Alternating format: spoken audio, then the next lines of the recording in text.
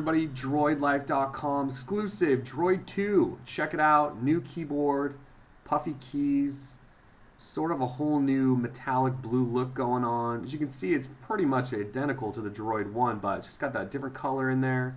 Uh, rocker switch, camera button, same spot. Microphone been pushed to the front a little more. Micro USB, same spot. Lock, power button, same spot. Uh, headphone jack, all that good stuff. Um, pretty much looks exactly the same as you can see. You know, it's sitting right next to my Droid 1 down there. Um, no real difference. They did move the soft keys around a little bit, and of course they've sort of covered up that weird edge that we had on the Droid 1 in the front bottom part.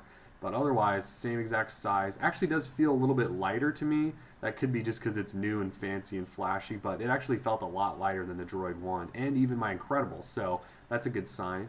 Uh, we're going to boot it up here. This first boot took me a little bit of time, but we wanted to show you the new Droid, Droid Red Eye. And there it is. Droid 2, Red Eye, you know, every droid's got its own special red eye, so there you go. There's a Droid 2. It's sort of a squared off look. Not really going to break down that red eye, but it's pretty cool. And then after this, we'll just get right into. Um, first thing you'll see here, new lock screen. Um, the Droid X sort of has a custom lock screen, and the Droid 2 has its own lock screen as well. I actually thought this was pretty cool. I liked it. So that's a new change. Um, you'll see right away the uh, live wallpaper in the background is the specific Droid 2 red eye, sort of floating around, orange stuff in the background. We will uh, come back to that later. What you really care about is uh, Froyo, right? So comes stock out of the box with Android 2.2. See right there, model number Droid 2, Android version 2.2. So there you go. There's proof. And uh, let's see, what else do you want to see in here? SD card, phone storage. Uh, comes preloaded with an 8 gig SD card and also has 8 gig internal, so you can load that bad boy up with as much stuff. Uh, battery manager, similar to the Droid X, but it does have the actual battery meter, which is kind of cool. And then let's see, you probably want to see applications. So we got Froyo application style in here with the tabs, and sure enough, right at the top, Adobe Flash Player 10.1. Again, preloaded in out of the box. You got Flash on there. I'm not going to show it to you. You've seen enough Flash in action. Uh, but yeah, very cool to see that on there. Um, let's see, wireless and networks. Don't believe the mobile hotspot stuff's in there, and no, it's not. It's just that separate um, app that Verizon's loaded on there for the 3G mobile hotspot. Not like the uh, you know Droid One, which has tethering built into Froyo, and the Nexus One, which has wireless built in. So there you go, 3G mobile hotspot. You know, it's got all those preloaded apps, including VZ Navigator, which is supposedly going to come preloaded on just about everything now. And uh, yeah, so you can see here it's the same same same blur skin as we got on the Droid X. And you got that weird launcher thing going down there at the bottom, flipping through. Uh, five screens, all the same widgets, same blur effects. It's just Froyo.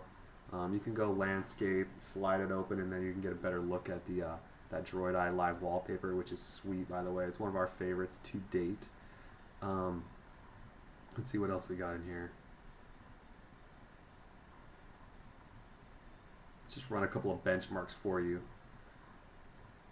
So Linpack scores, for whatever reason, on um, Texas Instruments processors, not blowing minds like they do on uh, Qualcomm processors. You know, the Snapdragons are getting in the 30s and 40s, and for whatever reason, these TIs sit in the lower teens. So, you know, who knows? That doesn't necessarily mean the phone's slow or runs crappy or anything like that. I mean, it's still an amazing device. So, uh, let's check out Quadrant because we all know we posted that Quadrant benchmark um, yesterday and blew everyone's minds. And whoops, tapped on the wrong button. Uh, but those quadrant that quadrant benchmark we posted yesterday was ridiculous. And so let's see if we can uh, let's see if we can match that today. Pull up quadrant again here. Now that we've backed out of that. Yes. And full benchmark. So we'll let this run here. Uh, yeah, so yeah, that benchmark we posted yesterday, screenshot. Um, Quadrant blew out every other device on the planet. It was in the 1400s, I believe. Even beat the Nexus One running 2.2, which no other device has come close to. And I know everyone's gonna, you know, yell and scream that their Droid One overclocked, beats that, and yada yada yada. Come on, people. This is stock out of the box. The whole point is that you don't have to overclock this thing. So nobody give me those excuses down there in the comments. Although I know you're gonna, it's gonna be tough for you not to. So we'll let this finish up, and you can see what our score is.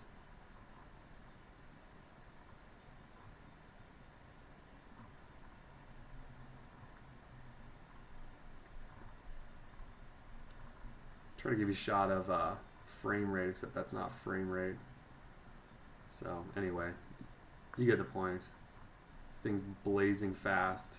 Um, just playing with it, like I said, the feeling of it overall just felt nicer than the original Droid. Actually, I kind of want one to tell you the truth. Okay, so here we go.